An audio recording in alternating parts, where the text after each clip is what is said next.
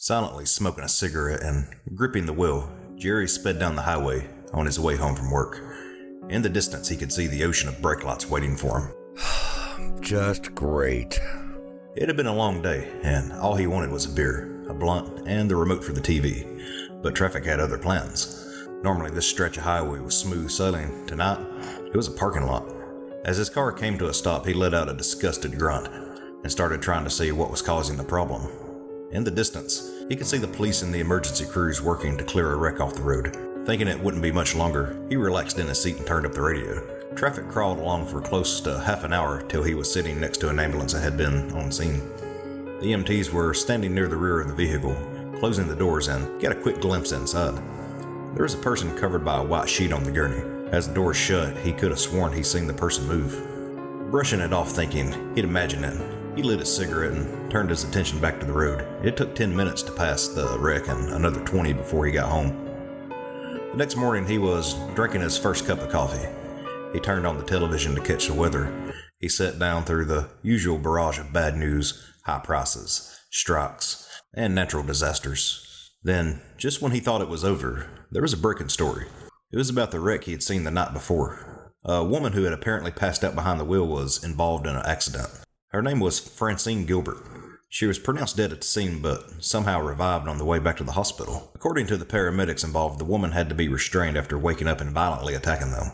Of course, they blamed it on drugs and mental illness, but something about it made it uneasy. Maybe he had seen too many movies, or maybe he was overthinking it, but to him it felt wrong. The weekend flew by, and Monday morning he'd forgotten all about Francine and her miraculous recovery. After putting on his uniform and staring at himself in the mirror for a second, he grumbled. Well, fuck my life. Then headed off to work. After everything he had been through, he never thought he'd end up being a security guard. Every day was a monotonous, repetitive blur of bullshit and boredom. At this point, he spent the majority of his days praying for something to happen, but it never did.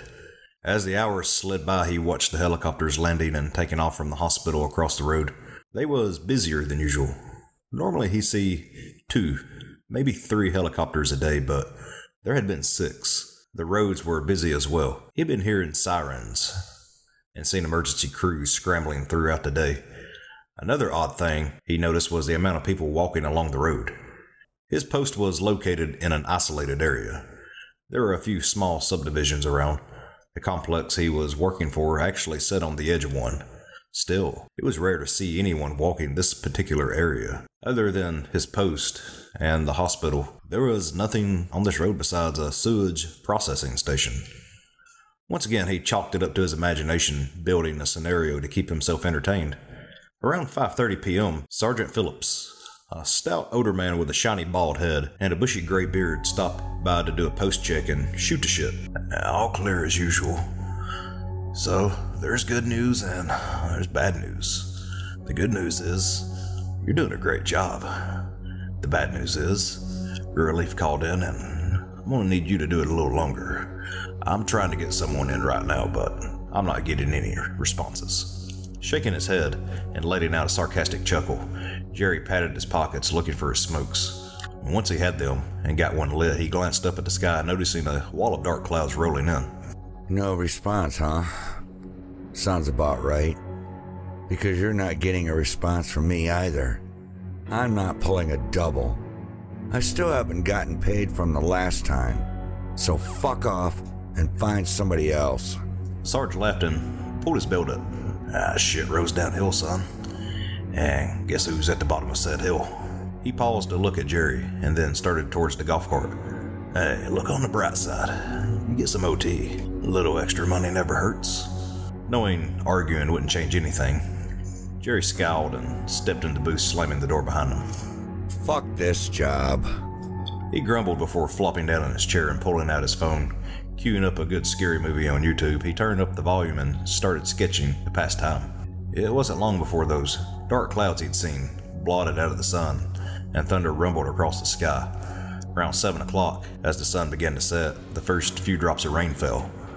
By the look of things, it was going to rain all night, and if his relief didn't show up, he'd be stuck doing patrols in it. As that thought crossed his mind, the alarm for his 7:30 patrol sounded. Tilting his head back and closing his eyes, he took a deep breath and muttered, They don't pay me enough for this shit. Getting up and grabbing his ring gear, he cursed and grumbled complaints to himself. Normally, this would be where he'd radio command and tell them he was starting his patrol. In his agitated state of mind, he slipped a radio in his pocket, grabbed the keys, and stormed out of the booth. The facility was huge. Each patrol covered 16 different checkpoints around the complex. By the end of the night, he would have covered 96 checkpoints in all, with the majority being outside. The first stop was Building E, a medium sized tin building with a roll up door. It was supposed to be used for storage, but at the moment, housed the golf carts used by the facility's work crew. He'd just finished checking the doors when the rain came pouring down. Luckily, Building G was next. It had cover, and he'd be able to hold up there for a second. Hurrying over, he locked the doors for the receiving bay and then scanned the marker and stood watching the rain. From where he was standing, he could see the sliding gate leading to the retention pond. There was also an area just beyond the trees that was used for testing. The company manufactured drilling equipment, and from time to time, they'd use the prototypes over there. It wasn't unusual to see animals back there. He'd seen deer, rabbits, possums, and skunks, to name a few. But tonight, the moment he caught something out of the corner of his eye, he got nervous. At first glimpse, it was hard to make out. His initial thought was deer. When he focused on it, he saw a man wearing a gray t shirt and tan shorts walking the path leading to the test area. Grabbing the radio, he watched the guy for a few seconds and then called it in. Patrol 1 to command, come back. There was a burst of static, then Phillips replied, I've got a situation at the east access gate. I've got a single male heading into the testing area. Please advise. Uh, do not approach. I, I repeat, do not approach. I'll call the authorities and file an incident report. Stay put. I'm heading your way. Copy that. Slipping the radio back into his pocket, Jerry watched the trespasser till he vanished behind the trees. After a few minutes, Sergeant Phillips arrived in the golf cart.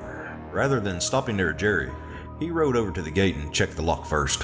When he was done, he hopped back on the cart and rode over. Uh, police are on their way. Were you able to get a good look at the guy? Shaking his head and pointed to the area where he had first spotted the man, Jerry described exactly what he'd seen. Because of the distance and the rain, he hadn't seen much, but there was one detail that stuck out. Trespasser was limping. It didn't seem to be stopping him, but it was noticeable. Phillips mentioned the terrain back there being rough and thought the guy had probably turned an ankle. Not knowing the area well enough to argue, Jerry agreed to the possibility, but what the sergeant said caught him by surprise. Uh, go back to your station and switch the cameras to the perimeter. Stay in the booth. Armed personnel will do all the patrols tonight. If you have to use the shitter to go to building J, and your radio with you at all times. Seeing Phillips was so wound up instantly made him alert. Normally, Sarge was fairly laid back and rarely wore his pistol, but tonight his 45 was on his hip, and he was looking concerned. What happened? Should I get my gun out of my car? Uh, legally, I can't say yes to that, but if it happens, I'll look the other way. There was an incident at the hospital. We're getting reports of a riot. Like a full blown riot? Or just a bunch of people yelling and talking shit? This one's looking pretty real to me. Some kid got shot by the cops at the hospital. The details we're getting aren't making sense. The boy was 14 and in critical condition before being shot by police. The kid had been hit by an ATV a few days earlier. As like I said, the reports don't make sense. All we know is a kid got killed and people are mad about it. So far, things are escalating, and unfortunately, we're right across the road from it. As Sarge finished talking, Officer Briggs from Guard Station 1 came over the radio. GS1 to command. Police have arrived and are heading to your location. After clearing the call, Phillips sent Jerry back to his post. During his walk back, he stopped by his car and got his pistol out of the glove box. As he closed the door, a patrol car pulled up and let down his window. Jerry told him where to find the sergeant and then hurried to the booth and opened the gate. Once he had gotten out of his rain gear and put on a pot of coffee, he took a seat at the desk and started switching the cameras. The moment the rear gates came on screen, there was a problem. There's a bayou that runs behind the building, separating it from the residential area. Occasionally, people would jog the paths or walk their dogs back there, but it was considered a low traffic area. Tonight, there were three people standing near the fence. At first, they weren't moving, they were all sniffing the air and looking around till something caught their attention. As the group took off running, Jerry realized they were heading straight for Sarge. Grabbing the radio, he tried to warn them. You've got three people approaching from the rear of the property. Don't open the gate.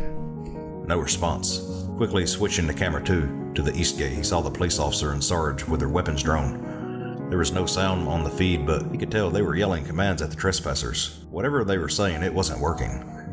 Taking a good look at the people, Jerry realized one of them was a little girl. The other two, a man and a woman, were banging against the gate, but the girl was looking for a way in. Trying the radio again, he yelled. Watch the girl. She's headed for the access gate. Hearing the call, Phillips turned to see the girl as she squirmed and squeezed her way through a slight gap between the rolling gate and the fence. The moment she was inside, she ran at Sarge. Rather than shooting her, he stepped back as she charged. When she got too close, he kicked her in the chest, sending her sprawling backwards across the ground. The officer ran over to get the girl under control, quickly overpowering her. He put her in the squad car, but not before taking several bites to his hands and arms. At this point, the other two made their way to the access gate, but all they could do was reach their arms through the gap. Mesmerized by what was unfolding on the scene, Jerry hadn't been paying attention to what was happening around him. A lone figure with a slight limp ran through the open field that sits on the right side of Jerry's post. He didn't see him till his hands were smacking against the glass. Nearly falling over in his seat, Jerry spun around and locked his eyes with a teenage boy. Frantically pounding his palms against the window, he begged for help. Letting him in would be breaking the rules, but judging by the looks of it, the kid was in danger. Hopping up from his seat, Jerry went to the door and hurried the boy inside. As the door slammed shut, the kid limped over to the window and started looking in the direction he'd just come from. Without taking his eyes off the window, he nervously muttered, They're, they're trying to kill me. Who's trying to kill you? Jerry fired back while locking the door. I don't know. They just started chasing me. Relax. Nobody's getting in here. The police are already on site. Sit down, catch your breath, and tell me what happened. Doing as he was told, the boy took a seat and tried to get himself together. Once he had calmed down a little, he explained, uh, I was taking a shortcut through the bayou because it was raining. When I got to the trail, I saw those freaks huddled around something on the ground. As soon as they saw me standing there, they came after me, so I ran. I thought I'd lost them when I found a spot behind the trees, but they're here now. Please, man, you gotta help me. Getting a good look at the kid for the first time, Jerry noticed a bloody wound on his left calf. Calm down. What's your name? Aiden, Okay, Aiden, you're bleeding pretty bad. What happened to your leg? I don't, I don't, I don't, I don't know. I think that bitch tried to bite me. Everything was happening so fast I couldn't pay attention. She caught me by the water before I crossed the bayou. When I got there, she fucking tackled me and we fell in. She was clawing at me, trying to drown me. I just kept kicking till she let go. When I got to the other side, my leg was hurting bad, but I had to run because the others were coming. Making a mental note of everything he'd just heard, Jerry grabbed the first aid kit and did his best to bandage Kid up. Once that was done, he turned his attention to the monitor and froze. Sarge and the police officer weren't on camera. Grabbing the radio, he tried making contact but got no response from Phillips or Briggs in GS1. Quickly switching cameras, he caught sight of the Sarge running to Building E. The officer was on the ground near one of the generators being attacked by the guy from the gate while the woman ran after Phillips. Trying not to panic, Jerry split the screen and brought up the feed from GS1. The booth was empty, and Briggs' car wasn't in the lot. That motherfucker. He mumbled to himself before glancing out the window at his own car. Thinking of making a run for it, he side eyed Aiden and considered leaving him there while he had the chance. As that thought crossed his mind, the sight of three more police cars racing down the street made him smile. Thinking they were about to pull in, he pressed the button and opened the gate, and then watched in shock as they sped by without stopping. No, no, no, no. Where the fuck are they going? Grabbing the flashlight off the desk and rushing out to the street, he tried to flag them down, but it was too late. Standing by the side of the road, the sound of gunfire in the distance made him pause. Between the thunder and the pouring rain, he could have been mistaken, but as it continued, there was no doubt. Something was happening. Jerry had seen enough. He turned and headed straight for his car. He crossed the driveway and stepped into the grass, boarding up the parking lot. Aiden, who was standing in the doorway of the guard shack, yelled, They're coming! Run! Four figures were racing towards him. There was no way he'd get to his car before they got to him. With no other option, Jerry darted for the shack, managing to slip inside and slam the door before they got to him. The shack was made of steel and concrete with thick bulletproof glass and a heavy metal door. As long as that door was locked, there was no way anyone was getting in. Soaking wet, Jerry doubled over, gasping for air. Years of smoking and bad living had left him in pretty shitty shape. After taking a moment to gather himself, he noticed Aiden was curled up in a ball under the desk.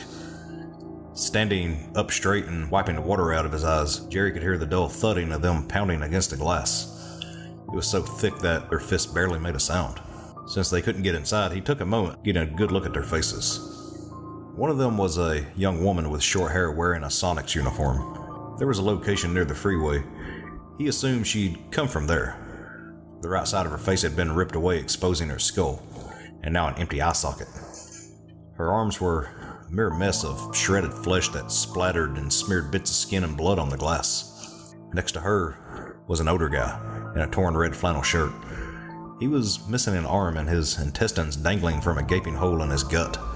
He snarled and pressed his face against the glass, attempting to bite at his own reflection. The third one was a kid with dreadlocks.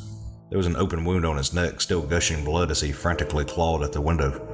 The last of them had already lost interest but was wandering towards the road. It was a woman.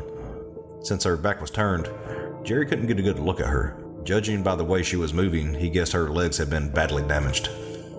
What the fuck is going on? He muttered to no one in particular as he watched the Sonics girl get distracted by something to her right. Glancing in to see what grabbed her attention, Jerry's jaw dropped. The sliding gate was still open, and Sergeant Phillips was on a golf cart being chased by the man and the woman from the east gate. When he sped by, the ones that had been banging on the windows joined the chase. He made it halfway across the parking lot before the kid with dreads called up and jumped on the cart. Trying to shake him off, Phillips made a hard left and hitting a parking block. The impact caused the cart to tip over, landing on its side, sliding a few feet before coming to a stop. The kid was trapped under the cart, still swiping at the Sarge as he crawled out and got to his feet. Pulling his sidearm and firing into the swarm, he ran. He dropped two of them, but they were getting up. If he could make it to the command center and get inside, he'd be safe, but that was still a ways to go, and they were right behind him. Luck was on his side. As fast as those things were, they weren't all that coordinated. The rain was making the pavement slick, causing a couple of them to slip and fall. Only one was still close to him when he made it to the door. The flannel guy had somehow stayed upright, even though he was dragging a train of his own intestines.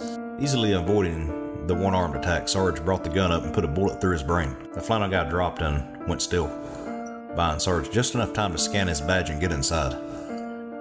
Letting out a sigh of relief, Jerry flopped down in his chair, covered his eyes with his hand for a second.